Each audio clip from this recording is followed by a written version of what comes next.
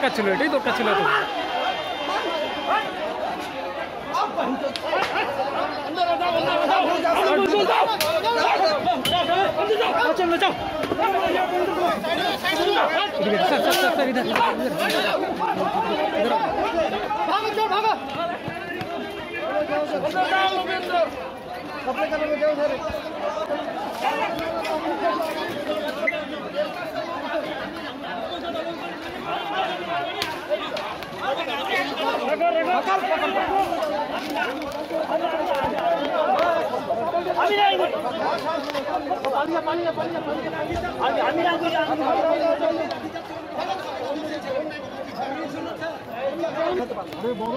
আপনি আমাকে গুলি করুন অ্যারেস্ট করুন আমি চালিয়ে না না না, আপনি মাত্র ফোর্সকে বলে আপনি এসব রাজনীতিটা আমি জানি আপনি আমার তারককে উঠে নিয়ে এসেছেন? তারককে কেন উঠে নিয়ে এসেছেন বলুন?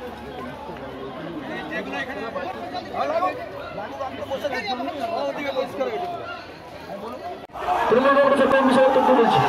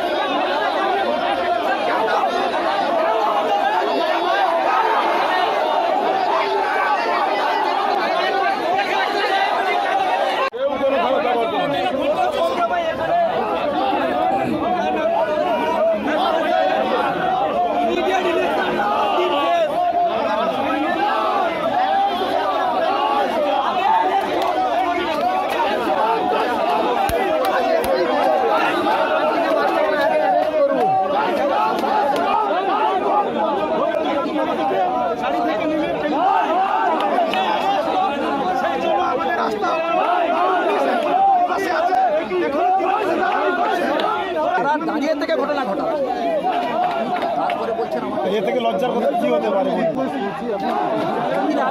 সম্ভব নয়।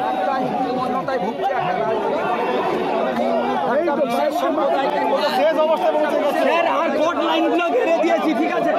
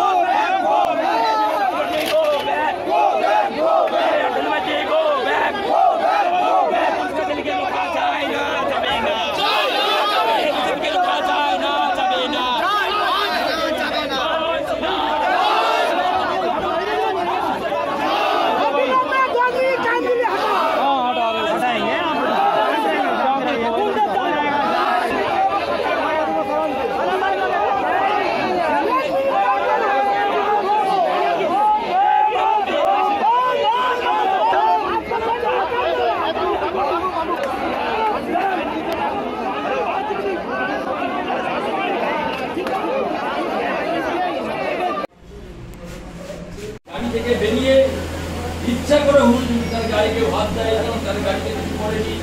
ইচ্ছা করে গাড়িটাকে সাইড করে দেয় তারপরে র্যাব তাকে ঘিরে ধরো তাকে সেভ করল। তাদেরকে লাঠিচার্জ করল না। মিনি দেড় ঘন্টাতে যেমন লাঠিচার্জ করল আমাদের লাঠিচার্জ করে আমাদের চার পাঁচ হ্যাঁ আমাদের আমাদের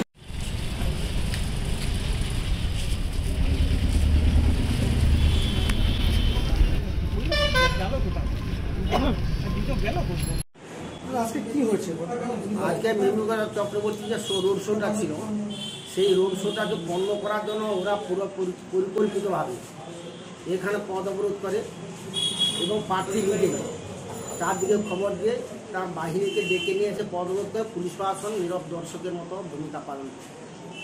যখনই এক দেড় ঘণ্টা এখানে চক্রবর্তী ওয়েট করে গেল, তখন সে আর প্রোগ্রাম করবে না। চলে গেল, তখনই RAB police police lathi charge করে, এরিয়া ফাঁকা করে।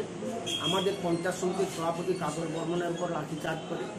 খাদ্য কর্মাধ্যক্ষ হচ্ছে বর্ণালী মণ্ডলের লাঠি লাঠিতে মারে আঘাত লেগেছে প্রচণ্ডভাবে এরপরে ওই বাহিনীকে এবং ওর সঙ্গে অর্জুননগর বড়োদ মুগলিয়া, বিভিন্ন জায়গা থেকে ওদের হারমাত বাহিনী এসে আমার ব্লক পার্টি অফিসটাকে ভাঙচুর করে আগুন ধরে দেয়। সাত আটটা মোটর সাইকেলে ওরা আগুন ধরে দেয়।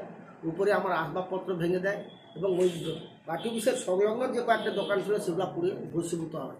এছাড়া আমার পার্টির যে ফার্স্ট ফেস্টুন ব্যানার ছিল সেগুলোতে সমস্ত ছিঁড়ে আগুন টাগুন ধরে তদন্ত করে দেয়। ওরা অভিযোগ করছে যে কোনো দমকল এখনও পর্যন্ত এখনও কোনো দমকল আসেনি।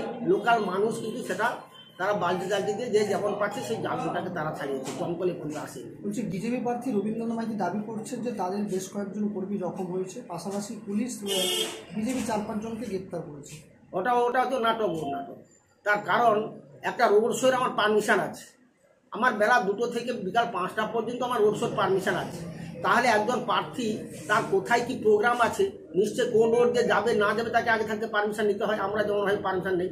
তাহলে কি করে পুলিশ প্রশাসন নিশ্চয়ই পারমিশন দেয়নি? এই টাইমে আমাদের এই প্রোগ্রাম আছে নিশ্চয়ই পারমিশন দেয়নি। তাহলে কি করে ওর উইদাউট পারমিশনে ওই রোড শোর মধ্যেও ঢুকতে পারে? তাহলে একটা পরিকল্পনা ছাড়া এছাড়া কিছু না। এই ঘটনাগুলো কাকে মূলত দায়ী করবে? এর মূলত দায়ী পুলিশ প্রশাসনের মধ্যে ভৌতনগর থানা এসআই আছেন এবং ওই বিজেপি পার্টির ওসি ওসি এবং হেডার সিআই। এর দুজন প্রত্যক্ষভাবে ভৌতনগর থানার ওসি। এবং সিআই এরা প্রত্যক্ষভাবে এর জন্য দায়ী। কারণ ওরা নিজেরা দাঁড়িয়ে আছে এখানে। তখন ক্লিয়ার করেনি। যখন মিনি চক্রবর্তী বেরিয়ে গেল তখনই ক্লিয়ার করা আরম্ভ হয়েছে র্যাপ র্যাপ র্যাপ সব দাঁড়িয়ে একদম নীরবে নীরব থেকে। কি কি কি দাবি জানাবেন? আমরা চাইছি তো ইমিডিয়েট ওই ওসি এবং সিআইকে এখান থেকে তাকে ট্রান্সফার করাতে হবে। বদলি করাতে হবে, নাহলে এলাকায় শান্তিপূর্ণ ভোট করানো যাবে না এক নম্বর। আর মানুষ শান্তিতে থাকতে পারছে না। ওদের অত্যাচারে এবং এদের ইন্ধনে আজকের এলাকার জনগণ খুব মানে এতে হয়ে, উদ্দিষ্ট হয়ে উঠেছে। জনজীবন বিপর্যস্ত হয়ে উঠেছে। ভয়ে মানুষকে বেরোতে পারছে না। যেটা মানে স্বাধীনতার পর এই জিনিস ছিল না। একটাপুর পার্টি অফিসে আবার ভেঙে দিয়ে সেখানে হনুমানে ইয়ে করা হলো। একটাপুর বাগাদারির ভিতরে এখন পর্যন্ত সাতটা ক্যাম্প আছে, আমরা ওসিকে বলেছি। সেখানে পঞ্চার চলছে। হ্যাঁ সব কিছু তো পুলিশ প্রশাসন জানে। কিছু করে নেই প্রথম। কয়েকটা আসামির বিরুদ্ধে কয়েকবার আমরা ডায়েরি করেছে যারা এই সকল ঘটনা ঘটে। একটা কেউ হয়নি এবং অবজারভার থেকে আরম্ভ করে ইলেকশন অফিসার থেকে ইলেকশন কমিশনার থেকে আরও থেকে বিইও থেকে সমস্ত জায়গায় আমরা জানিয়েছি। হ্যাঁ কেউ কিন্তু এর কোনো অ্যাকশন নিচ্ছে না। তারা আপনার- আপনার নাম? আমার নাম শশাঙ্ক শেখর জানা। আমি ব্লক তৃণমূল কংগ্রেসের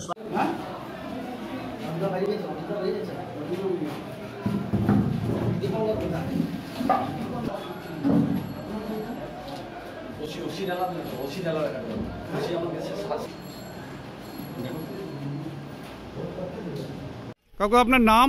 আমার নাম ফাল্গুনী কুমার নন্দ। কি হয়েছে ঘটনাটা? ঘটনাটা হয়েছে আজকে আমাদের মিমি চক্রবর্তী রোড শো ছিল হ্যাঁ। জুকিয়া থেকে ইটাবড়াবাদ অবধি। হ্যাঁ। আমরা মিলিত হয়েছিলাম আমাদের ব্লক পার্টি অফিসে হ্যাঁ। একসঙ্গে যাব বলে। হ্যাঁ। এমন সময় বিজেপির বেশ কিছু হারমাত হ্যাঁ। তারা বড় বড় কাঠ লাঠি বাঠি নিয়েছে অতর্কিতে। আমাদের উপর আক্রমণ করে পার্টি অফিসের উপরে ওঠে। আমরা ভয়ে একটা বাথরুমের মধ্যে ঢুকে যাই। সেখানে তারা সে বাথরুমের দরজা ভেঙে আমরা যখন আমাদেরকে যখন ট্রেনে হিসেবে নিচে নামায় মারধর করতে করতে তখন নিচে পুরো আগুন জ্বলছে। কোনো রকমে আগুনের মধ্যে ছুটে প্রাণ রক্ষাটা করেছি। কতজন ছিলেন উপরে? উপরে আটজন ছিলাম। উপরে গ্রাম পঞ্চায়েতের প্রধান উপপ্রধান সহ আমরা আটজন ছিলাম। কারা করেছে? বিজেপির গুন্ডা। কতজন ছিল? ওদের হাতে কি ছিল? ওদের হাতে বাঁশ মানে বড় বড় কাঠের ফাল ছিল। সে উন্মাদের মতো মাধ্যম চিন্তা করা যাবে আচমকা আপনাদের উপরে ঝাড় আচমকা- আমাদের তো প্রাণে আজকে প্রাণেই মরে যেতাম। নিচে আগুনের মধ্যে থেকে আমরা কোনো রকমে ছুটে বেরিয়ে এসেছি কোনো রকমের প্রাণ মানে বাঁচাবার থাকি নিচে ছটা মোটরসাইকেল ছিল আমার আমার আমারও মোটরসাইকেল ছিল। সব ভাঙচুর করে আগুনটা আগুন লাগিয়ে দিয়েছে। দমকল এসছিল? দমকল আসেনি পুলিশ হাত ছোটা দূরত্বে পুলিশ আছে এবং সিআরপিএফ বাহিনীও হার মানে হাত ছোড়া দূরত্বে ছিল। ঘটনার সময় কিন্তু বারবার বলা সত্ত্বেও ফোন করা সত্ত্বেও কেউ আসেনি। ঘটনার আধ ঘণ্টা পরে থানা এবং সিআরপিএফ এসছে। কি বলছে এসে? এসে নামলো নেমে ছবি টবি তুললো দিয়ে আবার চলে গেল। তখন আগুন জ্বলছে? তখন আগুন চলছে স্থানীয় মিষ্টি দোকান এবং স্থানীয় যারা গ্রামবাসী তারা বালতি বালতি করে কোনো রকমের আগুনটা নিভিয়েছে।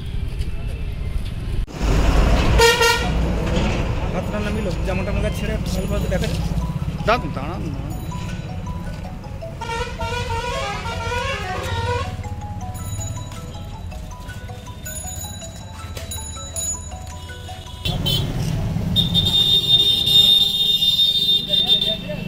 দাঁড়িয়েছে কিচ্ছু দাঁড়িয়েছে।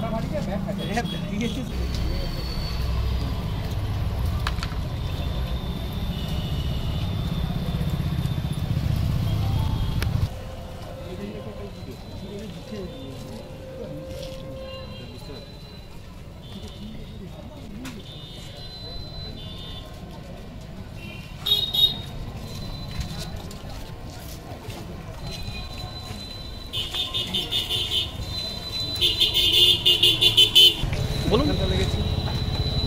হ্যাঁ। আর আর কোথায় লেগেছে? পায়ে লেগেছে? পায়ে এখানে পুরোটা পুরো পাটা। আমাদের মিমি চক্রবর্তীর রোড শো ছিল প্রার্থীকে নিয়ে। একটু জোরে বলবেন। মিমি চক্রবর্তীর রোড শো ছিল প্রার্থীকে নিয়ে বিখিয়া বাজার থেকে উত্তর থামা দুটো থেকে পাঁচটা। সেই রোড শোতে আমরা সামিল ছিলাম। সেই সময় হঠাৎ করে বিজেপির প্রার্থী রবীন্দ্রনাথ মাই দিয়েছে। গাড়ি থেকে নেমে এই রোড শোর মধ্যে ঢোকার জন্যই ছেলেরা যেমন স্বভাবতেই একটা উত্তেজনার সৃষ্টি হয়ে গেছে, কিন্তু বিজেপির প্রার্থী কি জানতেন না বা থানার ওসি, লোকাল ভূপতিনগর তিনি কি জানতেন না যে তৃণমূল কংগ্রেসের পক্ষ থেকে এই রোড শোর